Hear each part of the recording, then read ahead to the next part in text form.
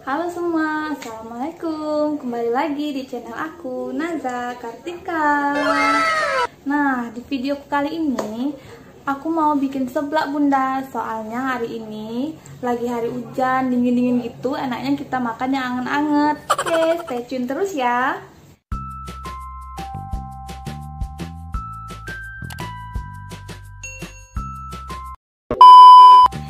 Ini dia bahan-bahan untuk pembuatan seblaknya ya bun.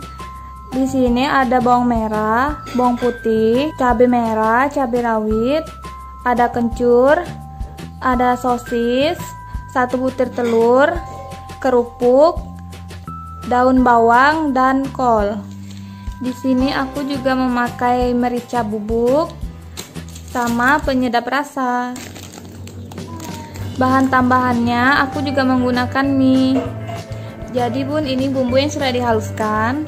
Bumbu yang dihaluskan ada bawang merah, bawang putih, cabai merah, cabai rawit, dan kencur ya bun.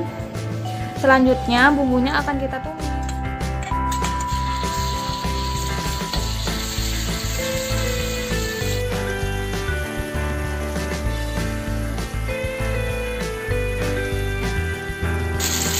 Jadi aku bikin seblaknya untuk dua porsi ya nih bun. Kita tumis-tumis dulu sampai harum bumbunya. Kita tambahkan sedikit air.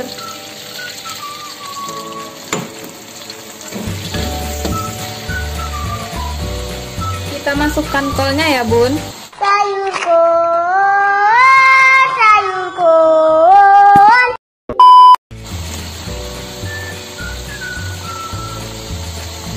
Kita aduk-aduk.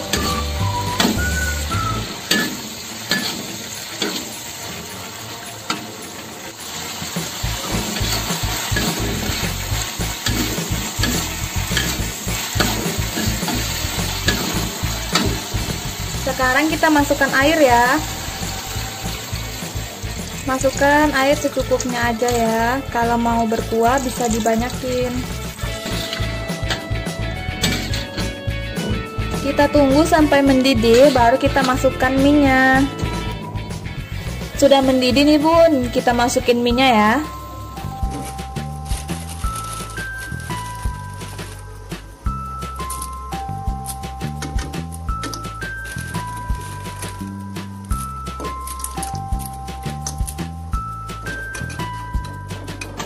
Kita masukkan kerupuknya juga ya jadi kerupuknya aku rendam dulu ya bun biar kerupuknya lembut.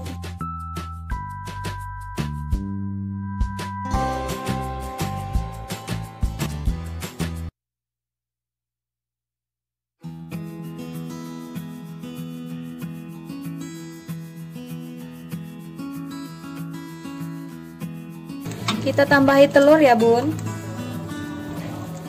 telurnya kita kocok dulu terus dimasukin secara perlahan ya.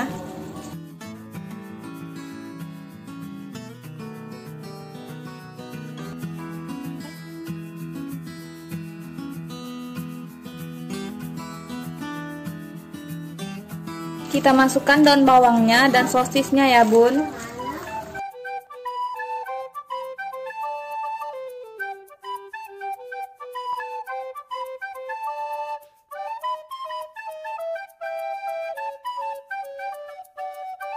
Terakhir kita masukkan penyedap rasa dan merica bubuk ya.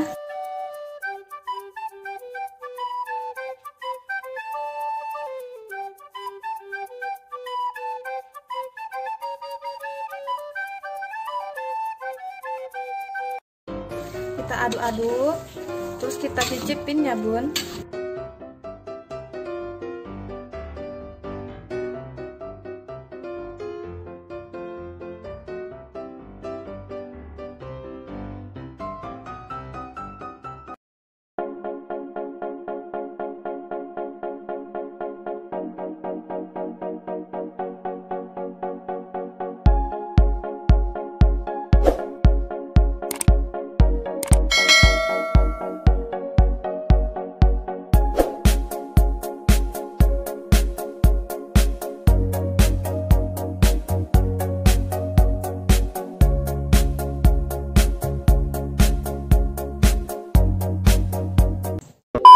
Nah bun, itu tadi resep seblak homemade buatanku. Bunda sudah bisa mempraktekkannya di rumah masing-masing ya. Oke bun, terima kasih dan jangan lupa untuk like, comment, and subscribe channel aku dulu biar bisa terus berkembang dan berkarya. Oke, see you on next video. Bye bye.